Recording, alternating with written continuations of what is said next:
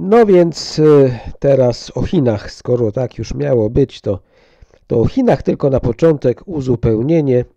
Sprawdziłem y, w tygodniu, y, dzisiaj jest środa, czyli w tygodniu poprzednim, Europejski Bank Centralny nawet zmniejszył bilans o, o grosze dosłownie, ale to jest, są na zero.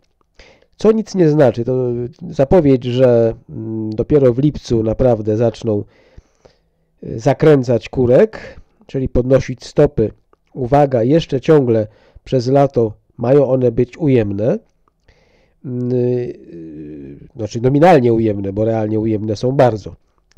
I y, mają w lipcu zacząć redukować bilans. Na razie to jest pewnie chwilowe, jeszcze przez miesiąc będzie będzie do dróg. Dobra, teraz do Chin, bo to jest najważniejsze i Chiny są ważne dla świata. Każde wydarzenie w Chinach ma wpływ na świat. Inflacja wynika nie tylko z, z tej podaży pieniądza ogromnej mm, na zachodzie, ale również wynika z niskiej e, podaży e, towarów. To jest oczywiście na rękę, w ogóle inflacja jest na rękę nie za duża oczywiście, inflacja jest na rękę.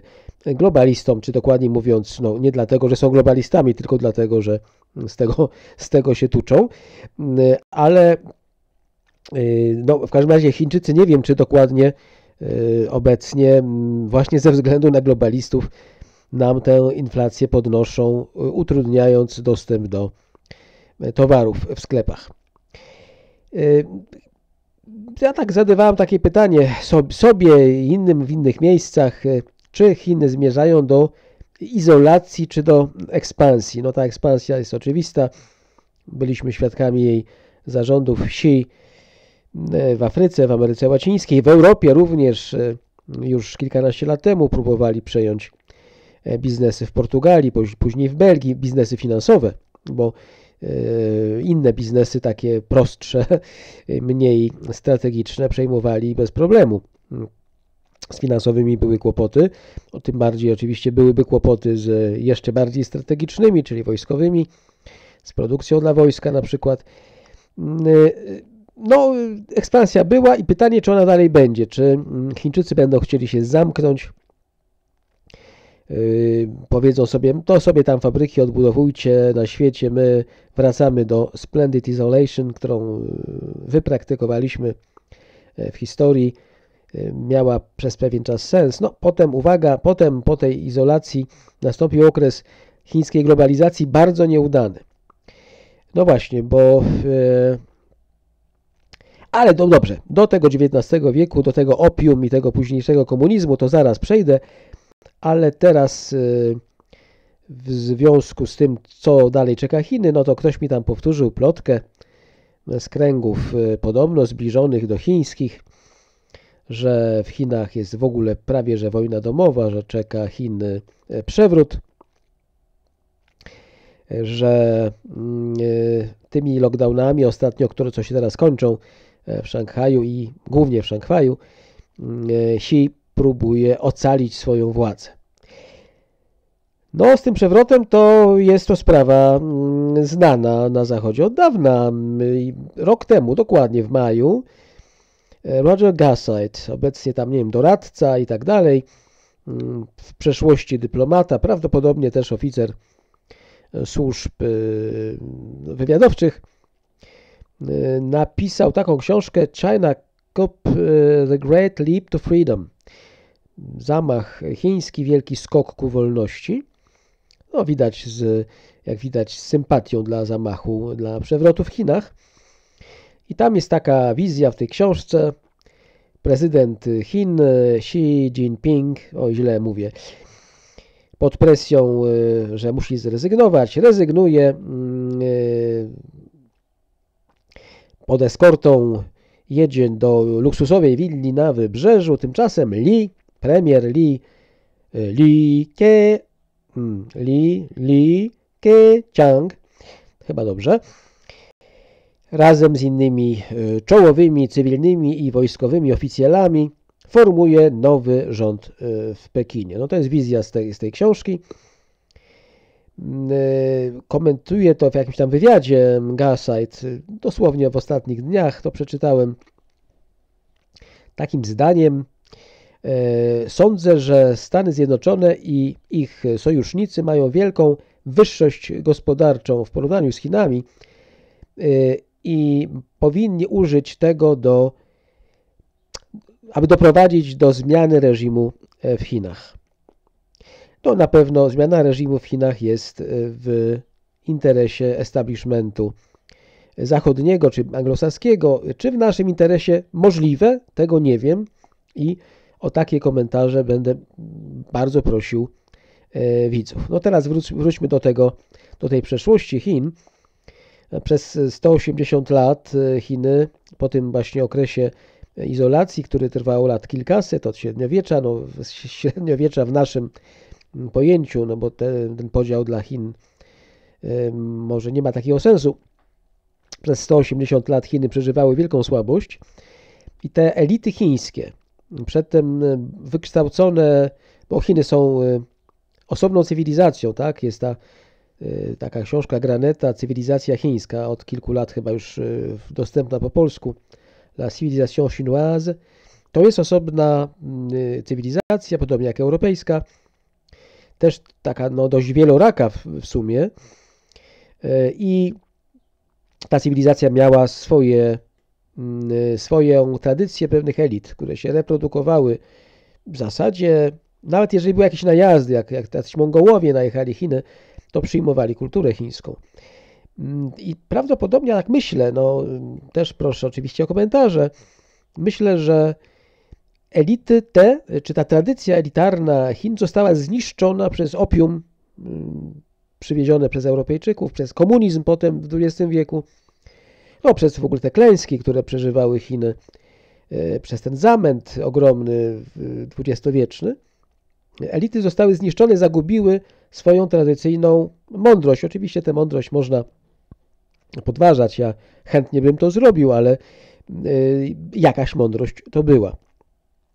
I teraz uwaga, pod to imperium chińskie odtworzone przez komunistów, na początku też w miarę izolujące się, po okresie wzrostu zarządów y, Denga, rządów formalnych, potem nieformalnych, aż do jego bardzo późnej śmierci y, u progów już niemal naszego tysiąclecia, to imperium pod rządami Xi imploduje. Imploduje głównie z powodów, jak sądzę, jak sądzę, demograficznych, no ale to osobna historia, nie chcę jej teraz tutaj już 8 minut za długo, to zostawmy tę demografię e, chińską.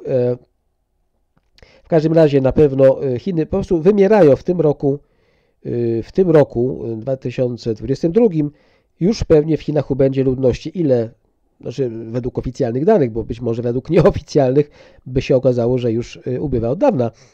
W każdym razie oni się przyznają do jakiegoś pół miliona czy do półtora miliona ubytku w ludności, którą trudno zastąpić imigracją, bo Chiny są za duże, a imigranci muszą być skośnocy. Chińczycy innych nie zaakceptują. Mm, od, o tych walkach właśnie na szczycie władzy, no to chodzą plotki od bardzo dawna. No rok temu powstała książka, którą e, tutaj y, reklamuje, mm, bez żadnych niestety obrywów, y, nie uszczknę sobie z tego. Plotki chodzą od bardzo dawna o tych, o tych walkach, no to takie walki są rzeczą normalną. Stalin był w stanie z takimi najwięksi dyktatorzy, cesarze rzymscy, różni Stalinowie właśnie, nie byli w stanie temu zapobiec. Ani Mao Tse-tung, nie był w stanie temu zapobiec. Walki muszą być.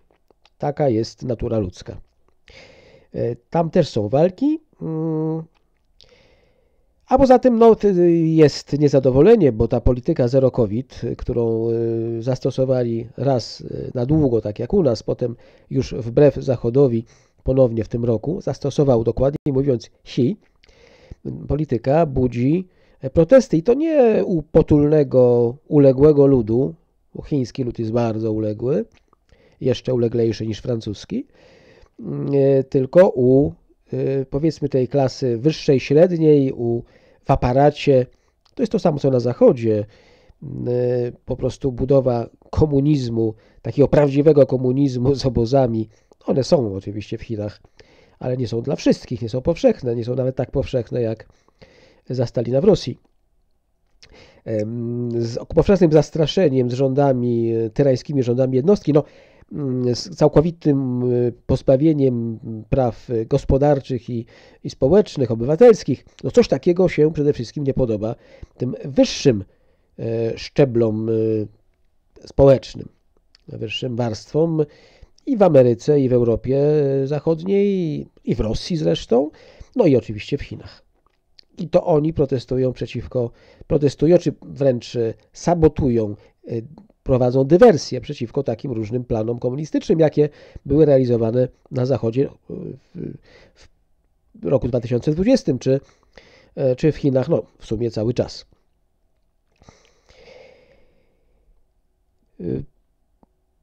Y, co tutaj? A, mam tu notatki. Dobrze.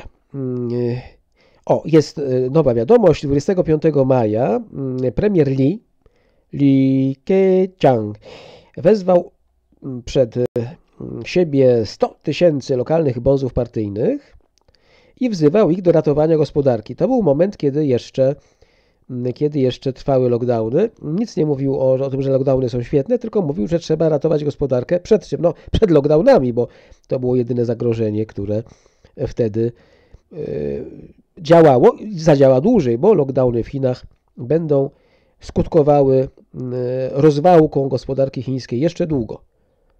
Nawet jeżeli już ich nie będzie, nie wiemy, czy nie, nie będzie, może jeszcze będą, ale będą, będą skutkowały, bo gospodarka no, po prostu obsunęła się i, i nie, da, nie da się tego tak łatwo nadgonić w sytuacji ogólnoświatowej recesji. Mm, pytanie jest takie, czy, czy Xi wiedział w ogóle o tym, że Li e, przemawia i takie rzeczy właśnie e, mówi. Mm, bezrobocie w Chinach e, podskoczyło do 6% oficjalnie. Oczywiście nie, nie ma danych nieoficjalnych. Mm, nigdy nie wiadomo dokładnie, co to jest bezrobocie, bo pytanie zawsze jest o to, kto to jest, kto to są ci zawodowo, zawodowo czynni, czy zawodowo, czy gotowi do podjęcia pracy i tak dalej. No są te pojęcia, które są bardzo płynne. Bezrobocie w krajach, gdzie kobiety w naturalny sposób rodzą i chowają dzieci, liczone od całości populacji może być bardzo wysokie, no bo te wszystkie kobiety są wtedy bezrobotne, no ale nie są bezrobotne, jeżeli y, nie są gotowe do podjęcia pracy zarobkowej, tak? Y, więc bezrobocie, jak mówię, jest pojęciem względnym, ale no na pewno rośnie w Chinach według oficjalnych danych. Y, no i premiera 25 maja nie słuchali ci, którzy w swoich miastach akurat dowodzili akcjami terroru znanego nam z filmów, także tych prywatnie wysyłanych. Uwaga, lockdown, lockdowny e, skrytykował, no poza tym, że Lee je nie wprost, ale też krytykował, to tak delikatnie skrytykował dyrektor generalny WHO, sponsorowany przez Billa Gatesa. E, o tym już mówiłem. Gebreyesus e, coś takiego powiedział. No spowodowało to, że Xi kazał tam w ogóle go usunąć z internetu niemalże i ocenzurować. No ale teraz zastanówmy się, czy podobieństwo w narracji premiera Li Keqiang z e, narracją e, dyrektora generalnego WHO nie sugeruje, że no, jest tutaj jakaś, jakaś wspólna nić porozumienia, tak? Czyżby e, premier Li był chińskim Gorbaczowem, którego mają osadzić na tronie, tak jak globaliści osadzili Gorbaczowa na tronie to było chyba 13 marca 1985 roku. No, z książki mm, Garsajda no, wynikałoby, że coś takiego jest, coś w tym jest, tak? Coś w tym jest. Na razie Lee nie ma realnej władzy, ale jest premierem. No, kończy kadencję. Drugą, ostatnią według y, konstytucji. Konstytucja zabrania trzeci raz być premierem. Kończy kadencję w marcu przyszłego roku. No ale nic nie przeszkadza, żeby był, ażeby został, mm, e, żeby objął inne, inne stanowisko, tak? Zgodnie z konstytucją. a nawet niezgodnie. Chyba w Chinach konstytucja nie jest aż taka bardzo ważna, nie jest jakoś bardzo używana. Nawiasem, tam jest prawo zwyczajowe bardzo istotne, to jest Azja. Zgodnie z prawem zwyczajowym Li Keqiang, który kończy 68 lat, w zasadzie powinien się w ogóle wycofać z, tych, z tej oficjalnej polityki, co nie znaczy, że w Chinach by nie miał wpływów, bo uwaga, Deng przecież bez żadnych, żadnych oficjalnych stanowisk przez tam, nie, nie pamiętam, kilkanaście lat e, rządził nawet pod koniec życia w ogóle z łóżka, e, już był obłożnie chory i umierał, a też, też rządził. Więc Li też może rządzić w ogóle bez stanowisk, e, zgodnie z konstytucją. No ale y, tak, no na razie nie ma tej władzy. W październiku ma się odbyć w Pekinie 20 zjazd Partii Komunistycznej. Xi ma się ubiegać o trzecią kadencję zgodnie z tymi zmianami w prawie chińskim, które przedtem tego zabraniały. To były tam właśnie te ograniczenia dwukadencyjne na szczytach władzy. On to zmienił, czy przepchał to przez którąś z tych tam chińskich instytucji władzy 4 lata temu bodaj i y, ma takie, taką możliwość, ale nie wiadomo, czy z tego będzie mógł skorzystać. No bo po pierwsze może być ten przewrót, po drugie na samym zjeździe może albo utracić całkiem władzę, albo zostać mm, otoczony jakby przez y, konkurentów w politbiurze. Tam politbiuro ma takie jakby dwa, dwa szczeble. Szersze jest szersze politbiuro, węższe politbiuro, no a w każdym razie on by chciał całkowicie swoją koterią obsadzić te organy władzy, no a może się okazać, że będzie dokładnie na odwrót.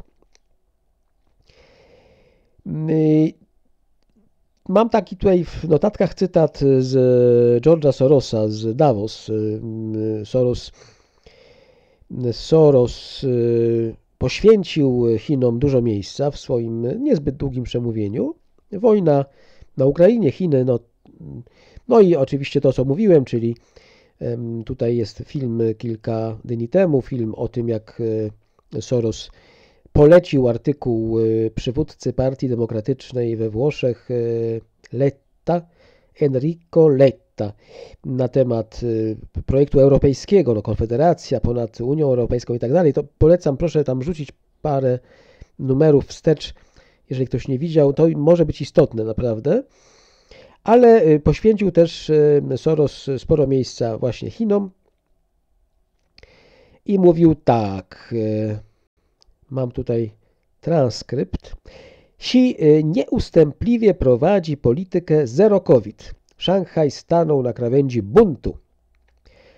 No Soros tłumaczy po swojemu, że Xi zaszczepił poddanych chińskich nieskuteczną szczepionką, no bo nie chciał Pfizera, więc oczywiście musiał zaszczepić byle czym chińskim, a mógł przecież kupić od Pfizera, czy od Moderny, nie wiem z kim tam Soros ma, y, gdzie ma udziały, gdzie zarabia, gdzie dywidenda mu jest wypłacana.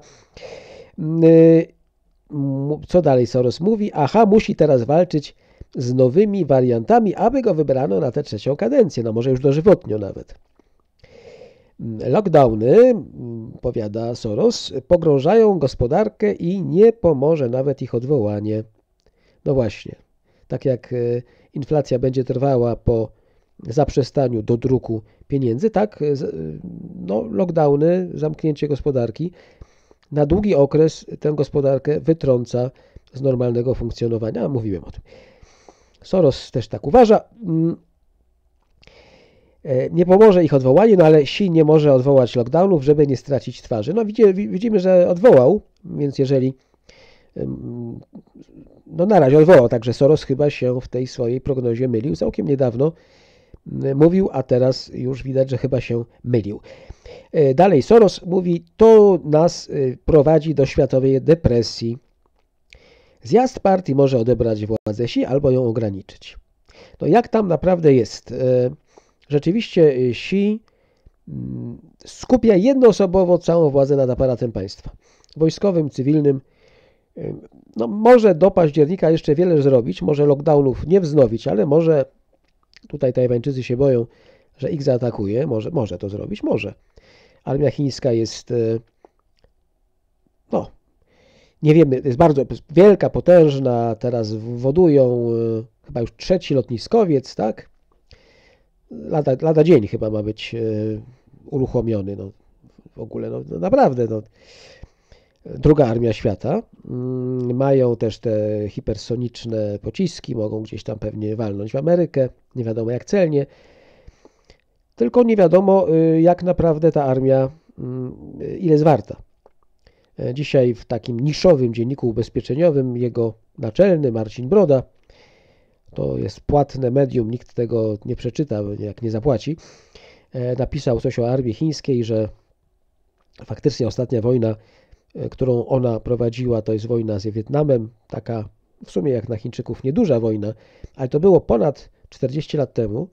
Ja to jeszcze pamiętam z młodości, śledziłem to bardzo uważnie, słuchałem i różnych radiostacji zachodnich i czytałem w, prasie dość o tym informującej rzetelnie prasie obozu sowieckiego, także sowieckiej właśnie prasie, co ciekawe, też, też ją czytałem.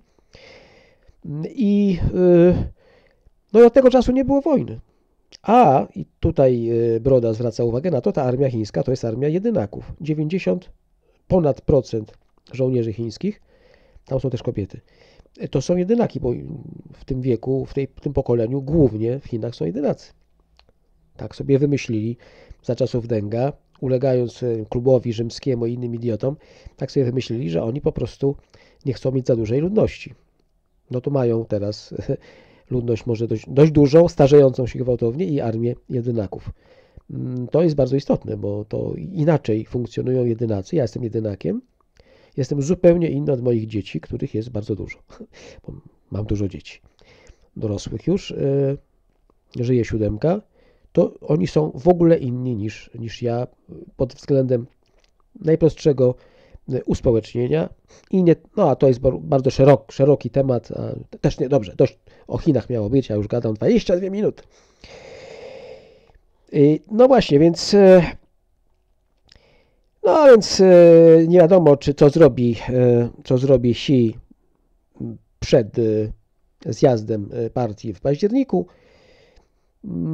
Może zrobić wiele rzeczy, ale może też być zablokowany jeszcze też, bo taki przewrót może być właśnie z powodu jakichś gwałtownych, zbyt gwałtownych ruchów prezydenta, przewodniczącego Xi spowodowany może być niezadowoleniem czy przerażeniem jakimiś szaleństwami E, bossa. Nie wiemy, nie wiemy co będzie. Wiemy, że mm, nie ma. Znaczy wiemy, że nic nie wiemy, tak? Tak jak generalnie o świecie to wiemy już od pewnego czasu i coraz bardziej ten chaos narasta, tak? Jak widać w samych Chinach też chaos narasta, narasta w innych miejscach. E, wiadomo, że w Rosji Putin wiadomo, że jest chory. E, Im bardziej Ławrow temu zaprzecza, zaprzeczał temu E, zdementował to w niedzielę, mm, to oznacza, że coś jest na rzeczy. Zresztą już wcześniej były, oczywiście te plotki trwają od bardzo dawna. Wszyscy, a to wszyscy widzą, że Putin ma już od lat obrzęk na twarzy. Taki obrzęk się bierze albo z chorób, albo od leków. Nie ma siły. Taki obrzęk no, ma, albo musiałby dużo pić, ale jest abstynentem i nie sądzę, żeby zaczął nagle pić no albo bierze leki, albo jest chory. Tutaj są różne koncepcje. Mm, to widać, no innych rzeczy nie widać. Być może też Putin udaje pewne rzeczy, znaczy robi jakąś grę, tam ten słynny kocyk na, na 9 maja, co sobie przykrywał nogi. No, takich rzeczy przed kamerami nie robi się e, przypadkiem. Tam zabrał komuś kocyk i przykrył sobie nogi kocykiem. No dobra, więc nie wiemy też, co się dzieje w Rosji. Na pewno nie dzieje się tam na szczytach władzy zbyt dobrze, bo na pewno też ta, ta wojna nie przebiega tak, jak miała przebiegać. E, sytuacja w Ameryce jest bardziej przejrzysta, e, znacznie bardziej przejrzysta, no ale też wyjątkowo niepewna. Piękny czas, piękne okno, być może okno dla Polski, być może okno dla Polski niepodległej, Polski wolnych Polaków, których jest coraz więcej. Nie stanowimy absolutnie większości, tak nie może być zresztą, ale mniejszość aktywna, jak powiadał, który tam Toynbee, chyba Toynbee, mniejszości aktywne, mniejszości zaangażowane zmieniają historię, zwłaszcza w czasach wielkiego chaosu, czego sobie, zwłaszcza Państwu i Polsce życząc, żegnam się z Państwem do następnego okienka, które będzie pewnie No niebawem, niebawem, z powodu właśnie tego wielkiego chaosu. Dziękuję bardzo.